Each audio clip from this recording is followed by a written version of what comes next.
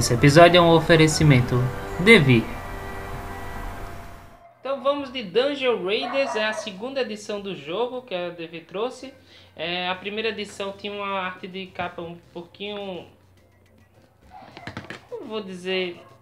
É, vou dizer diferente, né? Essa arte aqui parece mais bonita, vem numa caixa pequena e ele se caracteriza como aquele jogo bem leve para se jogar com a família muito legal assim para a família. Ele não tem tantas regras difíceis e nem também é simples demais, um take deck simples demais que o pessoal é algo traz algo diferente, uma forma diferente de jogar, né? E aí ele é para 3 a 5 jogadores, meu manual de regras. A arte tá bem bacana mesmo, bem caricata.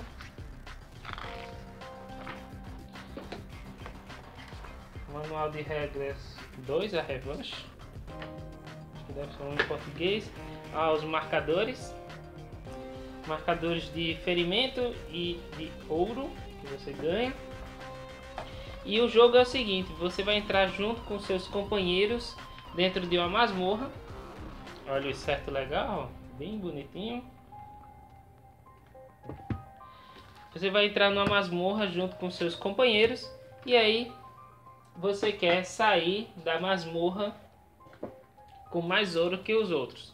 E com isso você ganha o jogo se tiver mais ouro. O negócio é que você não pode também ser muito displicente, porque se você for o cara com mais feridas até o final do jogo, você é eliminado da partida, mesmo que você tivesse mais dinheiro. É, tematicamente você entrou, encheu os bolsos de dinheiro, mas aí que nem a múmia, né? Aquele cara que encheu preferiu ficar na, com dinheiro e acabou morrendo lá dentro.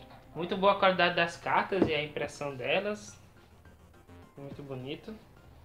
Aqui são os itens que ficam disponíveis para os jogadores para compra: bola de cristal, espada, tocha e chaves. Ok? E aí vamos ver as outras. Aqui mais tochas.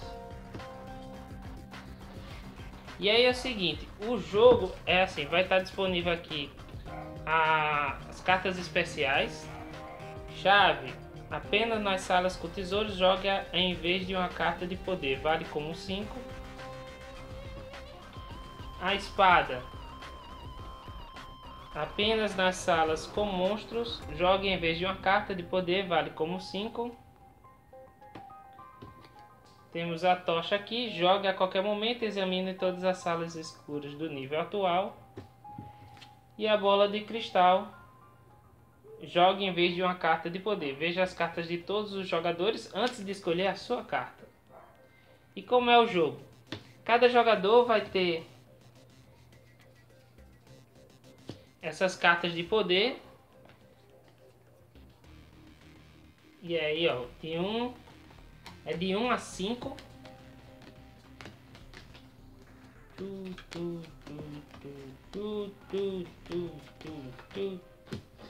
Aí essas cartas ficam com cada jogador. Randomicamente decide qual é o tipo de personagem de cada jogador. Tem vários jogadores aqui, personagens. E aí embaralha e dá para cada jogador, né? De 3 a 5. Vamos dizer que são 3 jogadores, certo? E aí o jogador 1 um, vai ter o guerreiro, ele começa com duas moedas. O outro jogador vai ser a ladra, que começa com duas moedas, uma chave e dois de ferimento. E vamos ter o feiticeiro, que começa com uma moeda, duas bolas de cristal e uma porrada. Então no caso a gente coloca aqui, ó.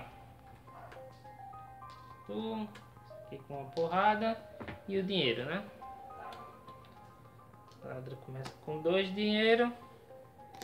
O guerreiro com dois dinheiro, porque ele é um caba forte, ele não foi levou nenhuma porrada, nem parece um tanque. E o mago com duas cartas de bola de cristal e a ladra com a carta. Então ele vai, o jogador vai ter esse deck de 1 a 5 de poder ela vai adicionar a chave e o mago vai teia de poder e as bolas de cristal. Então vamos botar ele aqui, esse aqui, esse aqui é o dela, é o dela, da chave. Vamos dizer que ela está aqui, certo?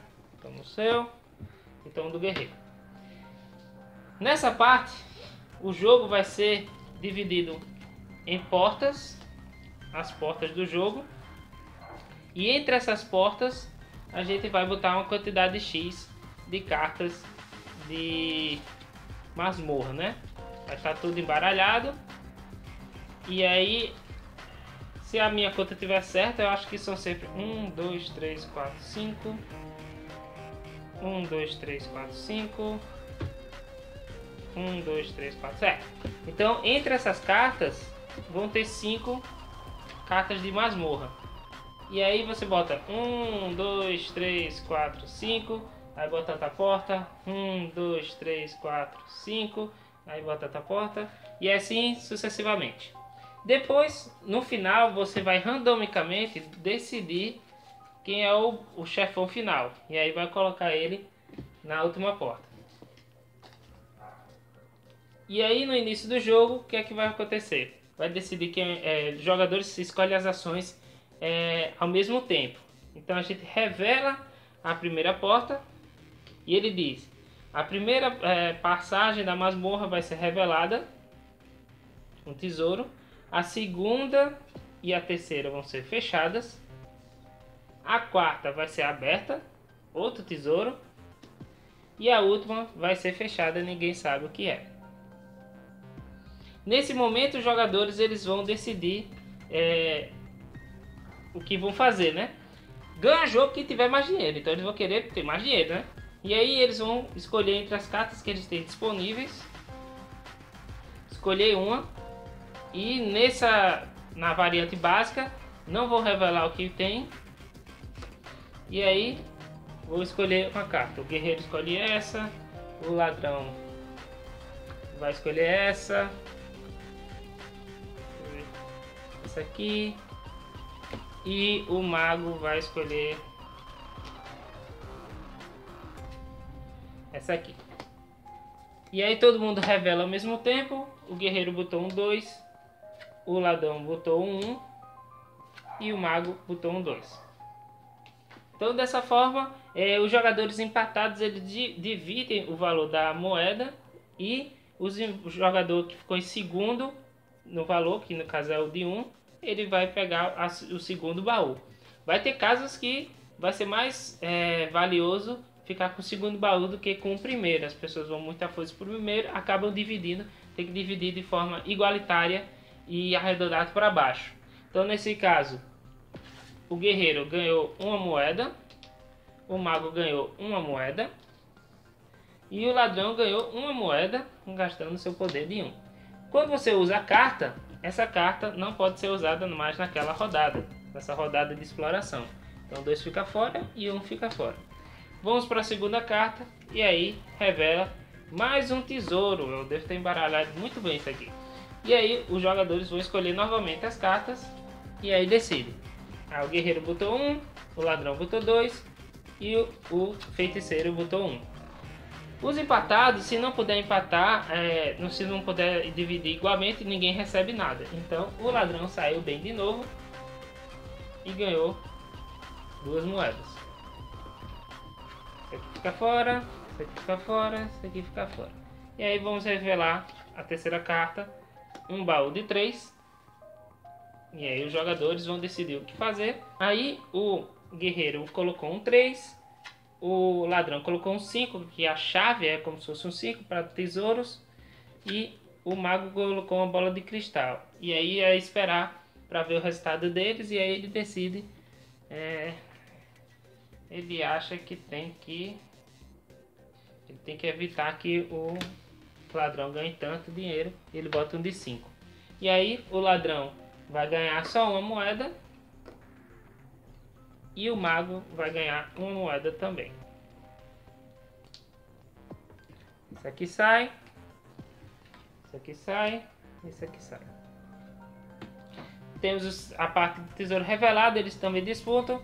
E aqui aparece um cofre e aí eles disputariam não disputariam, mas o número que eles colocassem ia dar direito a receber um desses itens especiais. Depois, quando vai para a próxima fase, a próxima porta revela e aí isso aqui sai e aí você revela as próximas cinco cartas seguindo essa é, disposição agora. Uma revelada, três ocultas e uma revelada. E aí, vamos ver se eu coloquei monstro aqui. Pronto. Esse aqui é aberto, fechado, fechado, fechado e aberto aqui. Aí tem as cartas de armadilha que seguem alguns padrões. No caso aqui, o jogador com maior dinheiro vai perder essa quantidade de dinheiro baseado na carta de maior valor jogada naquela rodada. Então é o momento dos jogadores é, sacanearem os outros, né? Tem outras armadilhas que é o jogador com mais fer... com menos feridas, ó, tem uma setinha para baixo. Então quem tiver menos feridas vai ser ferido baseado na carta de maior valor jogada naquela rodada. Ele leva 2, ou ele leva 1 um, se um de 3, a maior, ou se jogou de 2 e 1 um, ele escapou da armadilha. Vamos ver se tem monstro.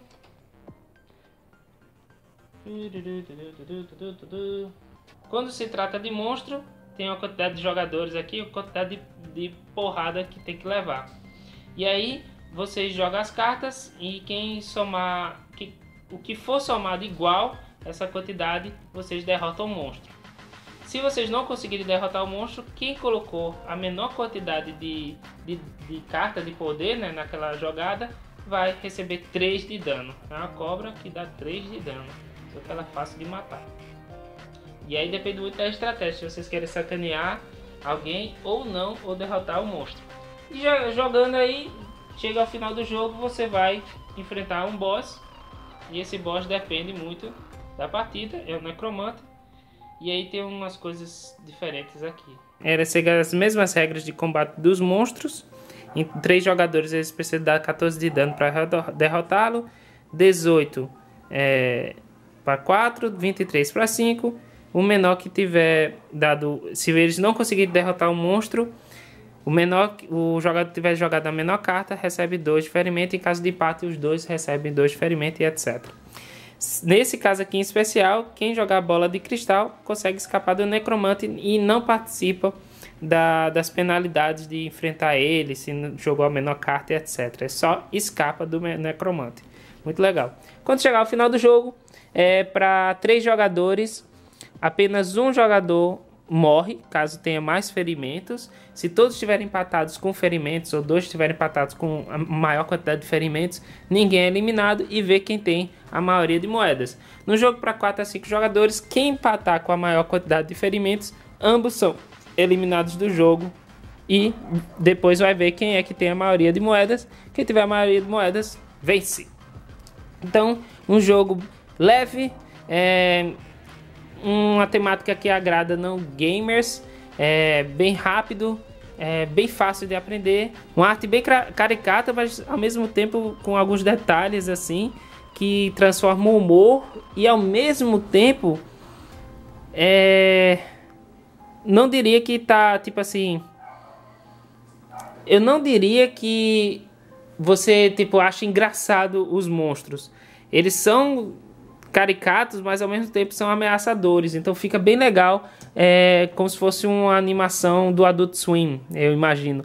Que aí é os caras chegando na masmorra e tentando enfrentar os monstros. Então, bem legal o Dungeon Raiders, pequenininho, é, dá para levar para festas. É, eu acho que vai atrair mais os não gamers. Não é um jogo que você joga mais de uma vez seguida, mas em alguns eventos vou trazer é, levar para o pessoal para conhecer jogos diferentes e propostas diferentes de jogo, né? Então, bem legal, Dungeon Raiders da Devi, segunda edição com a arte bem mais bacana.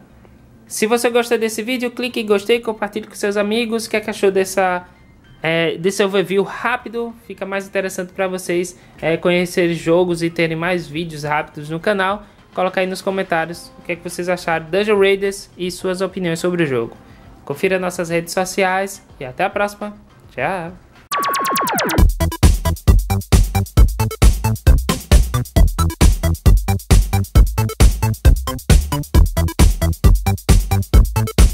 Thank